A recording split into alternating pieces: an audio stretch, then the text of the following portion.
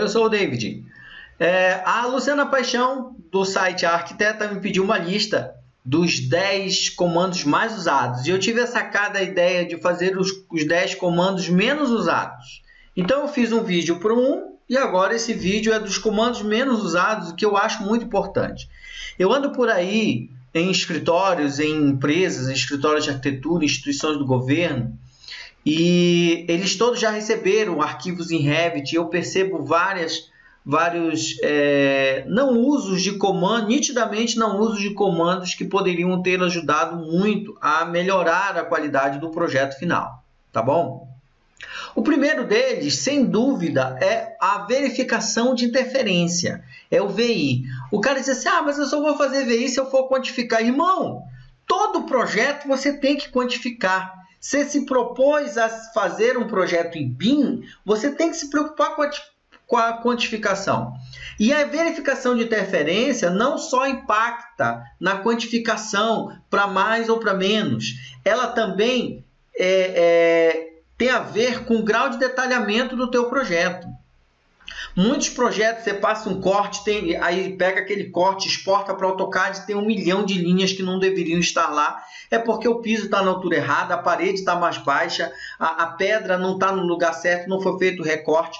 Tudo isso impacta na expressão gráfica do seu projeto. Aí quando você imprime direto do Revit, tem linha em cima de linha, fica uma linha grossa, mais fina, você não sabe dizer por quê. Verificação de interferência.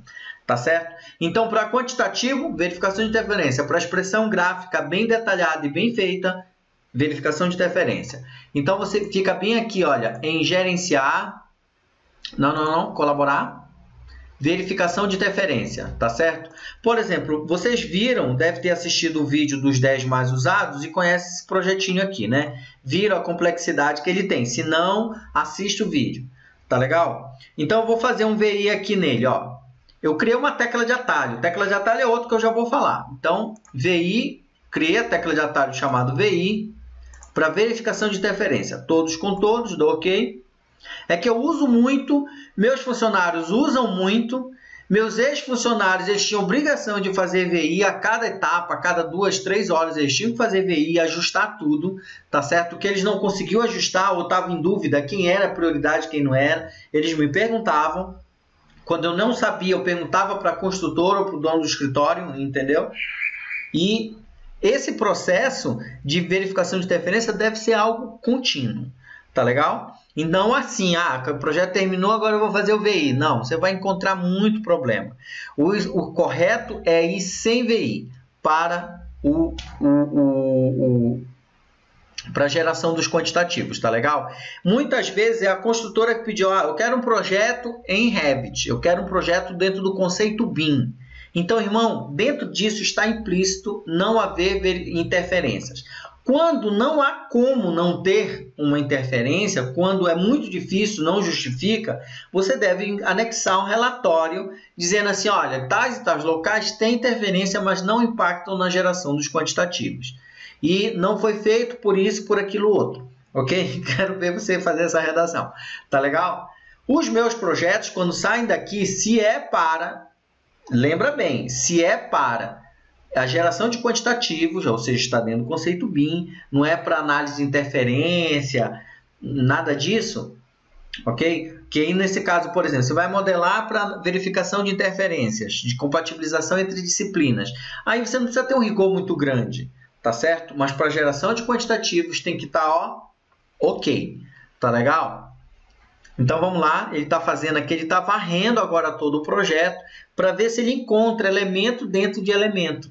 Isso é muito importante para, é, é, isso é muito importante que seja feito no decorrer do projeto e não no final dele, tá? Então verificação de interferência é o item 1 da nossa lista de é, comandos esquecidos do Revit, largar o bichinho lá no canto, mas não deve. Inclusive eu aconselho e ponho sempre que me sempre que eu for, sou contratado para isso. Vale lembrar, caso você não me conheça, eu sou consultor de tecnologia BIM, conceito BIM, utilizando tecnologia Revit em escritórios de arquitetura, construtoras e órgãos do governo. Ok? Bom, agora que estamos apresentados, meu nome é David Silva Pinto, meu site é davidpintoconsultoria.com.br. Agora você já sabe quem sou eu. Bom, é, é, o próximo item é que ele está varrendo aqui. Deixa ele terminar. Pronto, olha aqui, ó. Nenhuma interferência detectada. Essa é a mensagem mágica para quem está trabalhando para projetos dentro do conceito BIM ok? Nem sempre é possível, vale ressaltar, projetos muito grandes, às vezes tem uns elementos muito complicados, mas se feitos regularmente, os problemas podem ser resolvidos desde a base, ok? E esse item deve estar em todo o BIM mandate, ok? Bom, próximo item, vou fechar aqui, vou abrir o outro arquivo que eu preparei, que é aqui este meu template. O outro item esquecido são as tabelas. Realmente é esquecido. O cara faz tabela de porta, faz de janela, esquece todos os demais. A tabela, lá tem, olha, olha, as tabelas aqui, só no meu template, ó, não tem nada. As tabelas já estão criadas, olha. Quase 40, tem 41, mas tem um, algum lugar tá pulando aqui, olha. Do, acho que algum lugar tá pulando. Não importa, importa que tem tabela pra caramba. E elas são configuradas a cada novo projeto. A cada novo projeto, você usou aquele template anterior, você melhora, você tira uma coisa, coloca outra, ajusta uma tabela, prepara ela. A tabela ela não serve apenas para quantificar, mas também para verificar se você aplicou o material correto, se a nomenclatura das famílias está correta. Essa informação vai para os memoriais descritivos, você precisa das quantidades, entendeu? Do detalhamento das informações tá certo? Você verifica se uma esquadria, por exemplo, está bem detalhada, está bem descrita, tá certo? Um determinado um vaso sanitário, uma peça, uma louça, entendeu? As tabelas são muito importantes e vez ou outra esquecidas, tá bom? Dentro do nosso queridíssimo Revit. Teclas de atalho. Bom, teclas de atalho é um negócio assim, surreal, né? Porque a galera fica. Quando eu chego, num, num, num, fui num órgão no governo, e cheguei lá, tinha um usuário mexendo, e ele tá tateando aqui teclas de atalho básicas, tá? Por exemplo, é, eu dizia assim, isola para mim as paredes, deixa eu ver como foi que você fez isso. Aí ele clicou aqui, numa parede, foi aqui no óculosinho e clicou em isolar categoria. Aí eu disse assim para ele: Olha, não, irmão, não, não, não, é, assim tá certo, não está errado. Mas mais rápido seria se você clicasse aqui e desse um HC, que é Hide Category, ok? Aí você, opa, não, não, não, não, eu ensinei errado. Esquece o Hide Category, HR para voltar. Não, é selecionar a parede e C, tá? isolar categoria. É mais rápido. Aí você tem tantas teclas de atalho. O KS é para editar as teclas de atalho, tá bom? Ó, digita KS, ele vai entrar aqui. Tá legal? VI é uma tecla de atalho que eu uso muito, HH, HC, é, a cota, a parede, a cota é DI, a cota é WA, é, é, e por aí vai.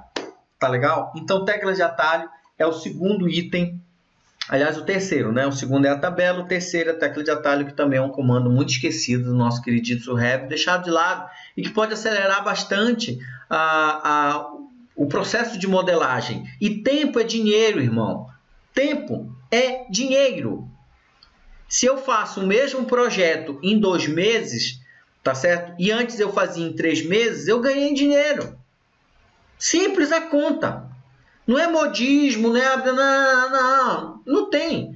Tanto que em todas as minhas implantações, enquanto eu sou consultor, enquanto eu sou instrutor, não é opção.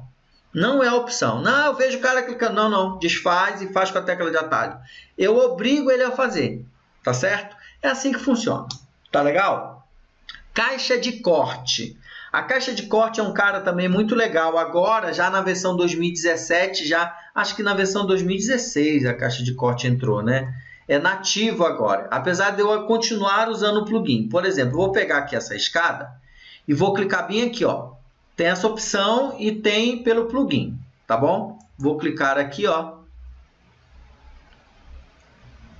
Vem aqui, ó. Pronto. Ele faz um recorte. Olha que legal. Para os lados, olha. Dessa forma, eu consigo isolar, tá? Um trecho do elemento. Aí eu pego esse meu 3D, duplico, obviamente. Duplico vista. Dupliquei, tá? Porque eu vou colocar esse detalhe da escada onde? Óbvio, vou colocar na prancha na prancha de detalhamento da escada. Tá legal? Pronto, olha, ele enquadra a caixa de corte aqui. Belezinha? Então, o Section Box é um, um, um, um o arquiteto Wagner Conde, é, especialista em conceito BIM utilizando o Revit do Rio de Janeiro, ele monta as pranchas de detalhamento é, não só de detalhamento, mas pranchas, planta baixa, colocando os detalhes em 3D nas suas pranchas. E isso vai para a obra e ajuda muito o entendimento do projeto na obra. Sérgio Leuzinho também faz isso e muitos outros também fazem isso. Então, a utilização do 3D, de, de áreas do 3D, é muito importante para é, usufruir melhor do, do programa. Não é verdade? Por que, que você põe cores? Por que você puxa textinho? É para que na obra haja uma interpretação melhor do que está acontecendo. O que é melhor do que um próprio um 3D? Então, irmão, passe a usar, vai aumentar o número de pranchas. Papel é barato, né? Papel ó, rasga, não importa, tá bom? Ah, é, é, eram 200 pranchas que iam para a obra, agora vão 300. Não interessa, interessa é o volume de informação que vai melhorar a qualidade do, do, da execução. Então, caixa de corte é o item 4 da nossa lista dos itens esquecidos. É, cinco plugins. Bom, plugin eu não posso assim deixar fora dessa lista dos esquecidos, né? Porque plugin, meu irmãozinho, é depois que você usufrui de tudo do Revit, aí você acha que não pode ficar melhor? Pode, aí você encontra os plugins. Olha aqui em suplementos. Eu uso o Section Box. O Dynamo nem é mais plugin, agora é nativo, tá aqui, mas era antes. O CISPRO é o programa de orçamento que eu uso, então tem um vínculo direto, vai direto para o banco de dados do programa de orçamento via composição Sinap ou composição é, é, MOP, qualquer banco de, de, de dados, sem infra, qualquer banco de dados, usa esse plugin. Venho mais para cá, o BIM da BIM Object, nós vamos falar mais sobre isso aí nos outros, nos próximos vídeos aí para frente. É, os meus que eu criei, áreas, ambiente, elevador, estacionamento, revestimento, tá certo? Se revestimento, sucesso de crítica e público, versão em português, versão em inglês, versão em espanhol. É, aqui, aqui não. O, Rev, o CGS Tools. Eu uso a metade dessas ferramentas aqui eu uso. As outras não, não uso porque eu não, não, sou, de, não sou projetista, né? sou modelador, instrutor e consultor. Mas projeto, projeto eu não faço. Entendeu? Mas se eu fizesse, se eu detalhasse, eu usar quase todas essas ferramentas do CGS Revit Tools, que é muito bom, é um super plugin que eu aconselho, tá certo? E é barato pelo volume de ferramentas que ele tem. Tá legal? Então, e eu sou a revenda Brasil para ele. Plugins é um cara que realmente é esquecido pela maioria dos escritórios, tá certo? Talvez assim, tem níveis de evolução de cada escritório. Uns são mais avançados, outros menos avançados. Outros fazem Revit, não fazem BIM. Outros acham que fazem BIM, mas só fazem Revit. Outros optaram por fazer somente Revit. Ok, então, para determinadas situações, não sei que nível está o seu escritório ou que nível você quer levar o seu escritório, mas isso tudo, é... isso tudo deve ser levado em consideração. Para onde eu quero ir, quais são os meus objetivos, qual, o que está no meu contrato, quais são as cláusulas do meu contrato a respeito do projeto que eu tenho que entregar à construtora ou, ou ao meu cliente. Então, pensando nesses termos, os plugins vão ser mais utilizados ou menos utilizados. O que é fato é o seguinte: usar plugin acelera o processo. De novo, um projeto que você faz em dois meses, antes você fazia três meses, você ganhou dinheiro. É simples. Não é uma questão de, de, de, de gostar ou não gostar. Entendeu? Não é, não é, ah, é opcional. Não é opcional, mano. Nós estamos no meio de uma crise que não sabemos aonde é que ela vai parar. E é opcional? Não, não é opcional. Simples assim. Eu quero acelerar, melhorar o meu processo, aumentar a minha produção, fazer o meu, o meu processo mais eficiente. Plugins, item importantíssimo. Configurações de vista também é algo que a galera não dá muita atenção. Modelos de vista, tá? Vista, criação de modelos de vista, filtros de vista, aqui ó, modelos de vista, tá? Esse também a galera não dá muita atenção, e mas eu acho que a grande maioria sabe que não usa isso aqui, deveria usar. Esse projeto aqui, por exemplo, tem poucas pranchas. Tem projetos aqui que eu peguei que tinha mais de 500 pranchas, mano. É, 500 pranchas, mais até, pô cortes, detalhes, é, é, é, é muita, muita vista. Entre aquele projeto que a gente fez de, de, de 21 pavimentos, nossa, tinha muito mais que isso. Projeto executivo tem bem mais que isso. Beleza? É, configuração de vista é muito importante num quadro como esse. É, opções de projeto. Opções de projeto é algo que eu não vou conseguir colocar aqui para vocês. Eu vou só apontar e você vai pesquisar em algum outro lugar, nos fóruns, na, na em conversa com a Luciana Paixão, manda um e-mail. Isso provavelmente vai entrar no módulo avançado que eu ainda vou gravar, não sei quando. Não sei se ainda esse ano de 2016, mas eu devo gravar o curso avançado de Revit, que é assim muito mais avançado que o que está é, é, já gravado. Então, olha aqui. É gerenciar opções de desenho. Opções de desenho, é esse cara bem aqui, tá legal? Muito importante ele. David, para que, que ele serve? Não conheço. Imagina que você está fazendo um layout no qual você vai é, seguir um estilo é, é, madeirado, por exemplo. Aí, mas você também, o cliente pediu alguma coisa mais é, mais moderna, mais com alumínio, uma, uma arquitetura um pouco mais mais high-tech, vamos pensar assim, e você quer apresentar duas opções no mesmo projeto, opções de desenho, opções de desenho, ok? É para isso que ele serve, para você fazer no mesmo projeto várias opções de layout. Quem começou a usar isso e quem aprendeu dos meus treinamentos, tá certo? Passa a usar direto. Semana passada, na, na pesquisa para essa lista aqui, para gravar esse vídeo, eu perguntei a alguns colegas, depois que eu aprendi isso, eu uso todo o projeto opções de projeto. Opções de desenho, melhor dizendo. Item é, 8 da nossa lista, revisão de projetos, tá? Revisão também é algo jogado de lado, tá? Mas também é um negócio que tem que, ser, tem que saber usar, tá bom? Nuvem de revisão. E aqui, onde está, acho que está em gerenciar. Fases não... Cadê onde está a revisão? Aqui, ó. Bem aqui, ó. Emissão, revisões de folha, tá? Muito importante, o projeto se estende aí por meses, 5, 6, 8 meses. É preciso haver um controle das revisões, muito importante. Isso aqui tem a ver com a folha e é ó, legal e também é esquecido, tá certo? Revisão de projetos, filtros de vista, também é muito importante tem a ver com a configuração da vista, mas eu queria destacar o filtro de vista porque ele resolve muitos problemas. Por exemplo, paredes que são drywall. Você usa uma parede convencional e como é que separa? Pelo nome? Pode ser pelo nome, mas os filtros de vista é, ajudam muito nesse processo de classificar e definir melhor famílias e elementos dentro do Revit. Tá bom? Então eu vou clicar aqui no VG, filtros, aqui olha, Revestimento pintura, revestimento banho é uma das configurações para esse é, elemento aqui. Tá certo? Filtro de vista é muito importante também. E navegador. Eu queria poder mostrar aquele projeto que eu comentei da agora, mas não posso mostrar porque é de nosso cliente. Mas ele tem uma necessidade muito gigantesca e usaram com perfeição o navegador aqui, ó. Porque você pode acrescentar novos níveis aqui. Então você vem aqui em Vista, Interface do usuário, Organização do navegador.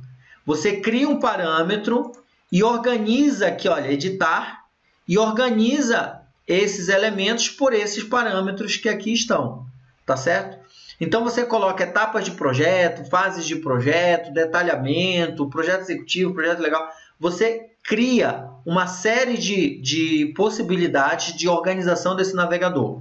Mais uma vez, tem a ver com a organização do seu projeto. Organização do seu projeto melhora a produtividade. Quanto mais rápido é, o profissional chegar na vista em que ele quer chegar, mais rápido ele vai tomar a decisão ou vai ter elementos para tomar as decisões de arquitetura necessárias ou de engenharia necessárias. Tá? Enquanto ele ficar catando aqui, ai meu Deus, 500 vistas, como é que eu abro? Não, se você tem uma organização de navegador é, bem feita, acelera o seu processo. Mais uma vez, tempo é dinheiro. Então, eu gostei dessa lista porque tanto o usuário é, iniciante quanto iniciar o usuário avançado, você que está me assistindo, você que está entre um e outro, ou que você quer chegar no avançado, ou você está iniciando, quer chegar no intermediário, você precisa ter essas técnicas, essas, essas coisas na cabeça e um direcionamento. Então achei legal assim, puxa, eu acho que vai ajudar bastante, bastante pessoas é, mostrar esses itens que eu vejo acontecendo nos escritórios por onde eu já passei e estou passando. Entenderam? Então tá aqui as listinhas. Matei uma lista, matei outra. Essas são as 10 mais. Então vamos recapitular. Verificação de interferência 1, tabelas a 2, 3 atalhos, 4 caixa de corte, 5 plugins, 6 configuração de vista, 7 opções de projeto, 8 revisão de projetos, 9 filtro de vista, 10 navegador, 11 clica aqui, curti, compartilhei, 12 Compre o nosso curso de edição de famílias, o curso de prefeitura atualizado já com novos vídeos com as atualizações 2016. E eu sou o David. Muito obrigado. Encontro com vocês por aí. Valeu. Até a próxima.